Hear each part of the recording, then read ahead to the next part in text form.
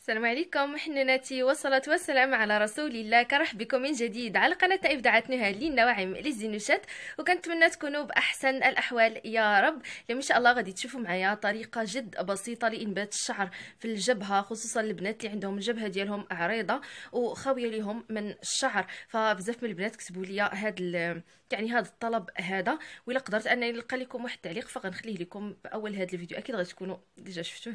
إلا لقيتو أكيد راه غتكونوا شفتوا هي الغزالات ديالي. فالطريقة جد بسيطة ولكن كتبغي غير شوية ديال الخاطر طبعا غنعطيها لكم بسرعة بسرعة ومختصرة بإذن الله. فغادي طبعا هذه الوصفة هذه راه قلت لكم كتبغي الخاطر الغزالات ديالي. أول حاجة بعدا غادي نحتاجوا إلى زيت الزيتون اللي كيكون بكر اللي هو هذا. زيت الزيتون البكر اللي كيكون آه معصور بلا آه هذيك شو سميتها؟ معصور بدون ملح.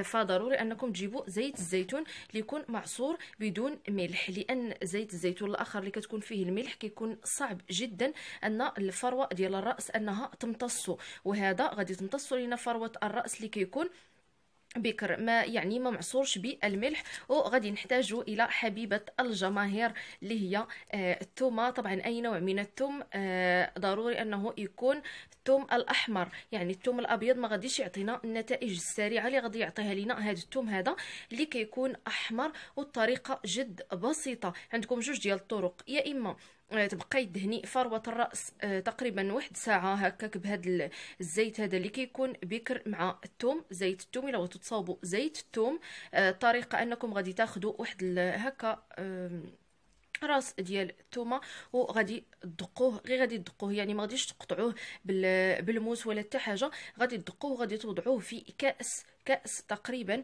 من زيت الزيتون واحد الكأس اللي يكون تقريبا واحد 100 مليلتر ثم غادي تخليوه في الظلام لمدة أسبوع ثم غتبقاو تشققوا بها الشعر ديالكم. وهذه غادي تبقى فيكم لمدة نصف ساعة فقط ثم غادي تغسلوا ليا الشعر ديالكم يا الغزالات ديالي بالشامبو الطبيعي اللي غادي تلقاو عندنا على القناة. ما فيك اللي دير هذه الروينة كلها غادي تاخدي الثومه وغادي تحتاجي إلى الكوردون. آه هذاك ديال الأسنان باش كينقيو الأسنان وغادي ديري غادي تجرحي ديك البلاصة واحد شوية كما قلت لكم راه كتبغي الخاطر. غادي تجرحي ديك البلاصة واحد شوية وغادي آه تحكي عليها الثوم وغادي تلاحظي إن شاء الله نتائج ولا اروع غادي تلاحظي فعلا أن الخلفة راه بدات كتنوض ليك وأن ديك البلاصة راها بدات كتعمر ليك يعني بأشياء جد بسيطة. كنتمنى يا رب أن هذا الفيديو يكون نال اعجابكم وكنصحكم أنكم دائما تغسلوا بالشامبو الطبيعي اللي غادي تلقاو عندنا على القناة. فقط كتبوا شامبو طبيعي ابداعات نهى للنواعم. إلا عندكم الغزالات ديالي أي تساؤل أو أي اقتراح كالعادة ما تردكم إلا أنا ملكم تكتبوا لي تحت إن شاء الله بالتعليقات وبارطاجيو الفيديو باش الكل يستفيد معنا وتعم الفائدة. ما تنساونيش باش تدعوا ديال الخير وترحموا لي على الوالدة. أستودعكم الله الذي لا تضيع ودائع.